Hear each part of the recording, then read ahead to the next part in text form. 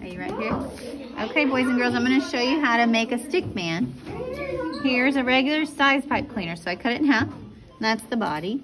And then I cut the body in half to make a smaller one. Those two of them.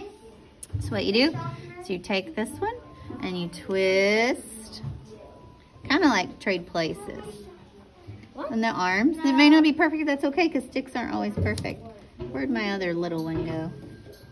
There's, no, no, there we go.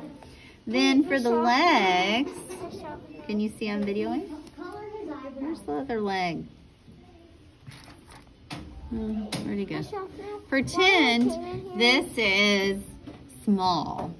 And you're gonna actually twist this one too around the body to make legs.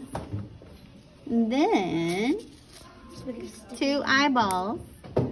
One, two. Not the cutest guy ever, but